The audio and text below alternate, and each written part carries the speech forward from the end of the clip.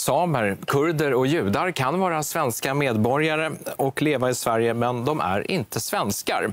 Ja, de åsikterna vädrades av Sverigedemokraternas partisekreterare Björn Söder tillika riksdagens andre vice talman i en intervju i Dagens Nyheter i helgen.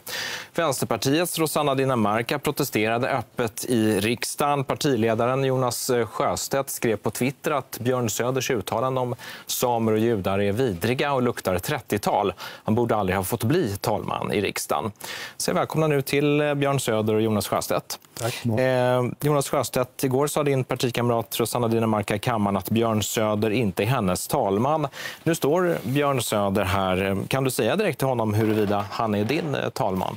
Nej, jag tycker att du ska avgå, Björn Söder. Jag tycker att du ska lämna in din avskedsansökan. En eh, talman som inte vill kännas vid sitt eget folk. En talman som hävdar att judar och samer inte är en del av Sverige, inte en del av Sveriges nation. Den kan inte företräda Sverige utåt på ett bra sätt. Den kan inte få förtroende från alla svenskar som bor i det här landet. Därför tycker jag att du är olämplig som talman och bör avgå.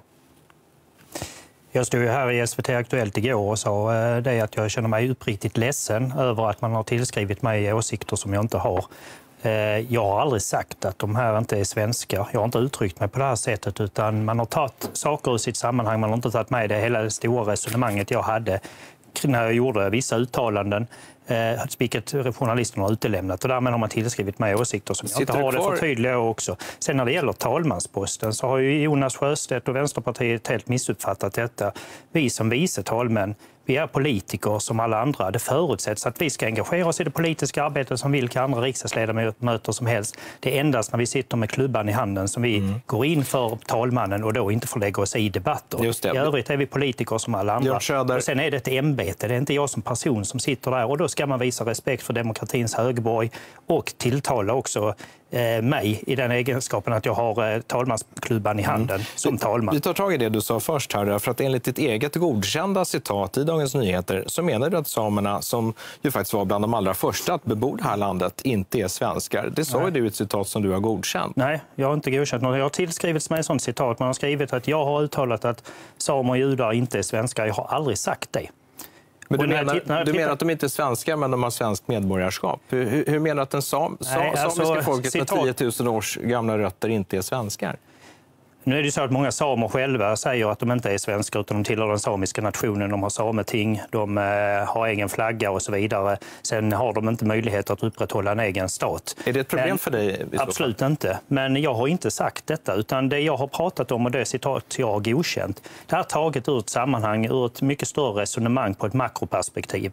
Eh, och jag godkände det därför att jag förutsatte att man också skulle ta med hela det resonemanget som jag hade med journalisten. Men du har alltså godkänt Nej, jag har, inte, jag, har inte, jag, har, jag har godkänt citaten, men jag har inte godkänt, eh, jag har inte sagt att eh, samer inte är svenska. Jonas Sjöstedt, eh, hur reagerar du på detta? Jag tycker att det är lite ömkligt, Björn Söder.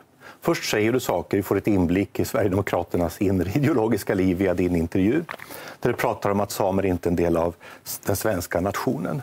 Och sen när du märker hur upprörda människor blir, då vill du inte stå vid det du tycker och det du säger. Det tycker jag är ömkligt.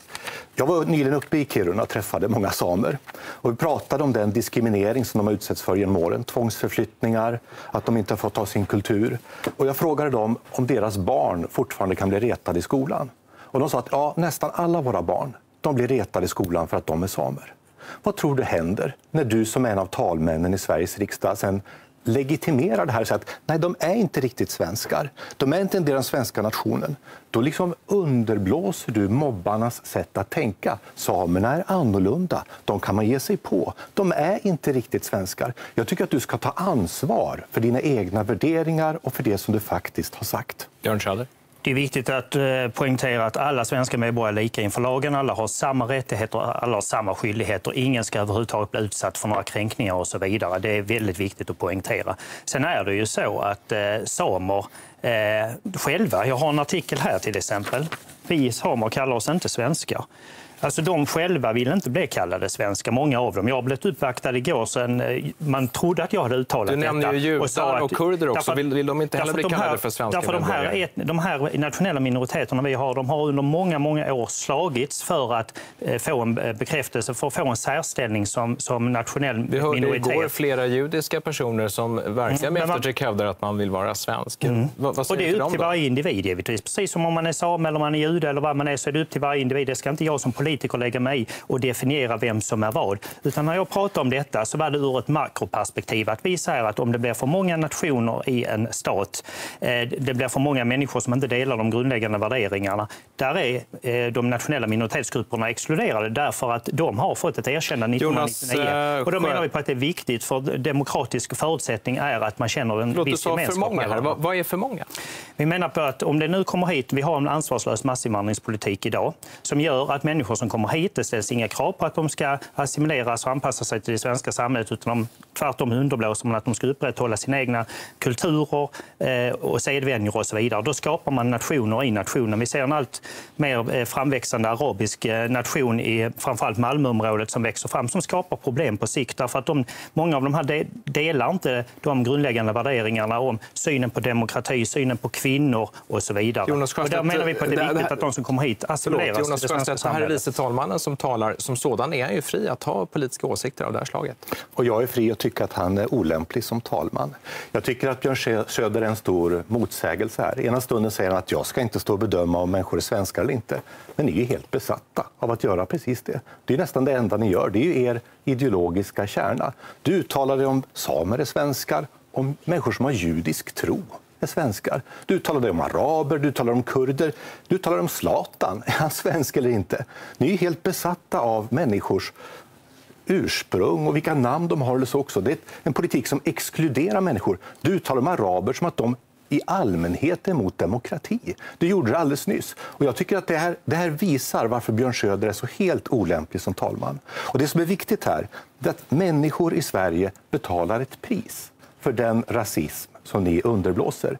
Kvinnan med slöja som blir spottad på och kastad sten på hon betalar ett pris för att ni underblåser rasismen. Det samiska barnet som blir retat på skolgården, de betalar ett pris för att ni alltid, alltid, alltid ställer grupper mot varandra. Ni lever på det. är det så att alla, ingen ska bli utsatt för kränkningar och så vidare. Det jag hela tiden tryckte på i den här intervjun och hela min föreläsning som jag höll var just att vår nationalism är inkluderande. Det är en öppen svenskhet vi förespråkar där alla människor oavsett var man kommer ska kunna bli en del kan, av oss. Kan du kort förklara för mig varför det är så viktigt för er att betona betona skillnaderna mellan människor i ett samhälle? Nej, tvärtom. Det är det vi inte gör. Vi vill ha en inkluderande eh, politik där människor som kommer hit anpassar sig till det svenska samhället om de inte tillhör de här nationella minoritetsgrupperna som är erkända eh, av alla riksdagspartier. Eh, där, där, vill vi ha en inkluderande politik istället för att man finner gemenskap för att vi inte ska skapa vi dem. Men det jag tycker är anmärkningsvärt i den här diskussionen det är egentligen Vänsterpartiets uppträde. Både i riksdagen i samband kort med att jag skulle bli vald och igår. Jag tycker att det beskriver väldigt mycket vad Vänsterpartiet är för parti. Alltså den som säger att judar inte är svenskar. Att de måste bevisa sagt, Jonas. Jo, jag uppmanar alla att gå in och läsa vad Björn mm. Söder faktiskt säger. Ja. Någonting. Den, den, säger någonting oerhört. För mig ringer en klocka från historien som säger gå inte Hörrni,